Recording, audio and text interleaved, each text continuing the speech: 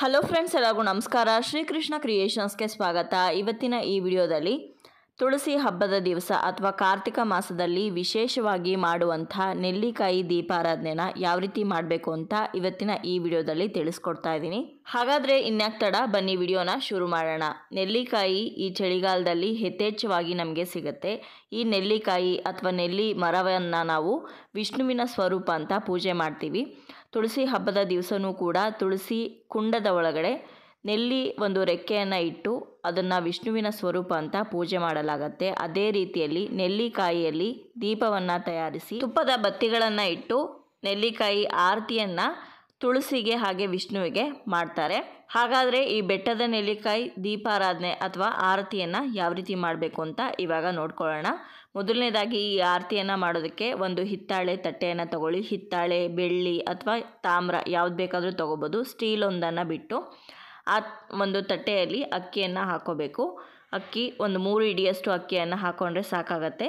ಆ ಒಂದು ತಟ್ಟೆಗೆ ಇವಾಗ ಅರ್ಶಿನ ಕುಂಕುಮವನ್ನು ಇಡಬೇಕು. ಅಥವಾ ಮುಂಚೆನೇ ಅರ್ಶಿನ ಕುಂಕುಮ ಇಟ್ಟು ಅನಂತರ ಅಕ್ಕಿಯನ್ನು ಕೂಡ ಹಾಕ್ಬೋದು. ನಿಮ್ಗೆ ಹೇಗೆ ಅನುಕೂಲನೋ ಅದೇ ರೀತಿ ಮಾಡ್ಬೋದು. ಇನ್ನು ಈ ದೀಪವನ್ನು ಮನೇಲಿ ಕೂಡ ಹಚ್ಬೋದು. ಅದೇ ರೀತಿಯಲ್ಲಿ ದೇವಸ್ಥಾನದಲ್ಲಿ ಕೂಡ ಹಚ್ಬೋದು. ದೇವಸ್ಥಾನದಲ್ಲಿ ಹಚ್ತೀರಾ ಅಂತಂದರೆ ರೆಡಿಮೇಡ್ ತಟ್ಟೆಗಳು ಇವಾಗೆಲ್ಲ ಸಿಗುತ್ತಲ್ವಾ? ಅಡಿಕೆ ತಟ್ಟೆ ಆ ರೀತಿ. ಅದರಲ್ಲಿ ಕೂಡ ನೀವು ಈ ದೀಪಗಳನ್ನು ದೇವಸ್ಥಾನದಲ್ಲಿ ಹಚ್ಚೋದಕ್ಕೆ ಬಳಸ್ಬೋದು. ಈ ದೀಪವನ್ನು ವಿಶೇಷವಾಗಿ ಶಿವನ ದೇವಸ್ಥಾನದಲ್ಲಿ ಅಥವಾ ವಿಷ್ಣುವಿನ ದೇವಸ್ಥಾನದಲ್ಲಿ ಹಚ್ಚಬೇಕಾಗತ್ತೆ. ನೋಡಿ, ಇವಾಗ ನಾನು ಬೆಟ್ಟದ ನೆಲ್ಲಿಕಾಯಿಗಳನ್ನ ತೊಗೊಂಡಿದ್ದೀನಿ. ಈ ಬೆಟ್ಟದ ನೆಲ್ಲಿಕಾಯಿ ಮೇಲ್ಭಾಗವನ್ನು, ಅಂದರೆ ತೊಟ್ಟಿರೋ ಭಾಗ ಅಲ್ಲ, ಮೇಲ್ಭಾಗವನ್ನು ನಾವು ಸ್ವಲ್ಪ ಆಳವಾಗಿ ಮಾಡ್ಕೊಳ್ಬೇಕಾಗತ್ತೆ. ಅಂದರೆ ತುಪ್ಪದ ಬತ್ತಿಗಳು ನೀಟಾಗಿ ಆ ಒಂದು ನೆಲ್ಲಿಕಾಯಿ ಮೇಲೆ ನಿಂತ್ಕೊಳ್ಳೋ ರೀತಿ ನಾವು ಆ ಒಳಗಡೆ ಭಾಗವನ್ನು ತೆಗೆದು ಅನಂತರ ಆ ತಯಾರಾಗಿರುವಂತಹ ನೆಲ್ಲಿಕಾಯಿ ದೀಪಗಳಿಗೆ ಅರ್ಶಿನ ಕುಂಕುಮವನ್ನು ಇಟ್ಟು ಅಲಂಕಾರವನ್ನು ಮಾಡಬೇಕಾಗತ್ತೆ.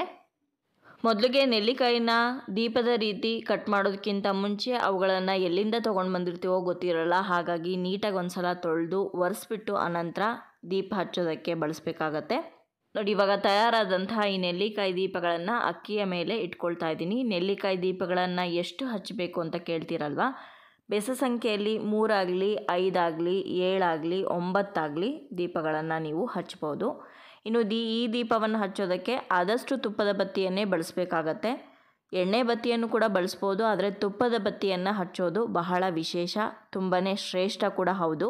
ಒಂದೊಂದು ಬತ್ತಿಗಳನ್ನು ಇಟ್ಟರೆ ಸಾಕಾಗತ್ತೆ. ನಿಮಗೆ ಆದರೂ ಕೂಡ ಎರಡನ್ನು ಇಡಬೇಕು ಅನ್ನೋ ಒಂದು ಮನಸ್ಸಿದ್ರೆ ಎರಡನ್ನೂ ಕೂಡ ನೀವು ಇಟ್ಬಿಟ್ಟು ಹಚ್ಬೋದು. ಯಾವಾಗ ನಾವು ಒಂಟಿ ದೀಪವನ್ನು ಹಚ್ಚಿದ್ದೀವೋ ಅಂತಹ ಸಮಯದಲ್ಲಿ ಮಾತ್ರ ಎರಡೆರಡು ಬತ್ತಿಗಳನ್ನು ಇಟ್ಟು ಹಚ್ಚಬೇಕಾಗತ್ತೆ ಈ ರೀತಿಯಲ್ಲಿ ಐದು, ಏಳು, ಒಂಬತ್ತು ದೀಪಗಳನ್ನು ಹಚ್ಚುವಾಗ ಒಂದೊಂದೇ ಬತ್ತಿಗಳನ್ನು ಇಟ್ಟರೆ ಸಾಕಾಗತ್ತೆ. ಈಗ ಈ ದೀಪಗಳಿಗೆ ಹೂಗಳನ್ನು ಇಟ್ಟು ಅಲಂಕಾರ ಮಾಡಿದ್ದೀನಿ ಹಾಗೆ ಏಕಾರ್ತಿಯಿಂದ ದೀಪಗಳನ್ನು ಹಚ್ಕೊಳ್ತಾ ಇದ್ದೀನಿ ದೀಪವನ್ನು ಹಚ್ಚುವಾಗ ಶುಭಂ ಕರೋತಿ ಕಲ್ಯಾಣಂ ಆರೋಗ್ಯಂ ಧನ ಸಂಪದಾಂ ಶತ್ರುಬುದ್ಧಿ ವಿನಾಶಾಯ ದೀಪಂ ಜ್ಯೋತಿ ನಮೋಸ್ತುತೆ ಅಂತ ಹೇಳಿಕೊಂಡು ದೀಪವನ್ನು ಹಚ್ಚಿ ಅನಂತರ ದೀಪ ಹಚ್ಚಿದ ನಂತರ ಈ ಒಂದು ತಟ್ಟೆಯನ್ನು ಎರಡೂ ಕೈಯಲ್ಲಿ ಇಟ್ಕೊಂಡು ತುಳಸಿ ದೇವಿಗೆ ಹಾಗೆ ವಿಷ್ಣು ದೇವನಿಗೆ ಪೂಜೆಯನ್ನು ಮಾಡಬೇಕಾಗತ್ತೆ. ಅದಕ್ಕಿಂತ ಮುಂಚೆ ಈ ದೀಪಗಳಿಗೆ ಸ್ವಲ್ಪ ಅಕ್ಷತೆ ಹೂವನ್ನು ಸಮರ್ಪಿಸಿ, ಧೂಪವನ್ನು ತೋರಿಸಿ ಪೂಜೆ ಮಾಡಬೇಕು. ವಿಷ್ಣು ದೇವನನ್ನು ಹಾಗೆ ತುಳಸಿ ದೇವಿಯನ್ನು ಮನಸಾರೆ ಪ್ರಾರ್ಥನೆ ಮಾಡಿಕೊಂಡು ಈ ಆರತಿಗೆ ಪೂಜೆಯನ್ನು ಮಾಡಿ, ಅನಂತರ ಈ ಆರತಿ ತಟ್ಟೆಯನ್ನು ಎರಡೂ ಕೈಯಲ್ಲಿ ಇಟ್ಕೊಂಡು ನೀವು ತುಳಸಿಗೆ ಹಾಗೆ ವಿಷ್ಣುವಿಗೆ ಆರತಿಯನ್ನು ಮಾಡಬೇಕು. ಆರತಿ ಮಾಡುವಾಗ ಆರತಿ ಹಾಡನ್ನು ಹೇಳ್ಕೊಳ್ಬೇಕಾಗತ್ತೆ. ಆರತಿ ಹಾಡು ಬಂದರೆ ಹೇಳ್ಕೊಳ್ಳಿ ಅಥವಾ ಬರದೇ ಇದ್ದರೆ ಮೊಬೈಲಲ್ಲಿ ಅಥವಾ ಎಲ್ಲಾದರೂ ಡಿಸ್ಕಲ್ಲಿ ಹಾಕ್ಕೊಂಡು ಕೂಡ ನೀವು ಆರತಿಯನ್ನು ಮಾಡ್ಬೋದು. ಇನ್ನು ದೀಪ ಎಲ್ಲ ತಣ್ಣಗಾದ ನಂತರ ಆ ನೆಲ್ಲಿಕಾಯನ್ನು ಯಾರು ತುಳಿದೇ ಇರೋವಂಥ ಕಡೆ ಹಾಕಬೇಕು. ಹಾಗೆ ಆರತಿಯನ್ನು ಮಾಡೋದಕ್ಕೆ ಬಳಸಿರುವಂಥ ಅಕ್ಕಿಯಿಂದ ಸಿಹಿಯನ್ನು ಮಾಡಿ ದೇವರಿಗೆ ನೈವೇದ್ಯ ಇಟ್ಟು ಅದನ್ನು ನೀವು ಮನೆ ಮಂದಿ ಪ್ರಸಾದದ ರೀತಿಯಲ್ಲಿ ಸೇವನೆ ಮಾಡಬೇಕಾಗತ್ತೆ. ನೋಡಿದ್ರಲ್ವ ಸ್ನೇಹಿತರೆ, ಇವತ್ತಿನ ಈ ವಿಡಿಯೋದಲ್ಲಿ ತುಳಸಿ ಹಬ್ಬದ ದಿವಸ ಅಥವಾ ಕಾರ್ತಿಕ ಮಾಸದಲ್ಲಿ ತುಳಸಿಗೆ ಹಾಗೆ ವಿಷ್ಣುವಿಗೆ ಯಾವ ರೀತಿ ನೆಲ್ಲಿಕಾಯಿ ದೀಪಾರಾಧನೆ ಮಾಡಬೇಕು ಅಂತ ತಿಳಿಸ್ಕೊಟ್ಟಿದ್ದೀನಿ. ಇವತ್ತಿನ ಈ ವಿಡಿಯೋ ನಿಮ್ಮೆಲ್ಲರಿಗೂ ಇಷ್ಟ ಆಗಿದೆ ಅಂತ ಭಾವಿಸ್ತೀನಿ. ಇಷ್ಟ ಆಗಿದ್ರೆ ಖಂಡಿತವಾಗ್ಲೂ ಲೈಕ್ ಮಾಡಿ, ಬೇರೆಯವ್ರಿಗೂ ಕೂಡ ಶೇರ್ ಮಾಡಿ. ನಿಮ್ಮ ಅನಿಸಿಕೆ ಅಭಿಪ್ರಾಯಗಳನ್ನ ಕಮೆಂಟ್ ಮೂಲಕ ಬರೆ ತಿಳಿಸಿ. ನನ್ನ ಚಾನಲ್ನ ಯಾರಾದರೂ ಹೊಸದಾಗಿ ನೋಡ್ತಾ ಇದ್ದರೆ ದಯವಿಟ್ಟು ಸಬ್ಸ್ಕ್ರೈಬ್ ಮಾಡ್ಕೊಳ್ಳಿ. ಹಾಗೆ ಪಕ್ಕದಲ್ಲಿ ಕಾಣುವಂತಹ ಬೆಲ್ಲೈಕನ್ನು ಮರಿದೆ ಕ್ಲಿಕ್ ಮಾಡಿ.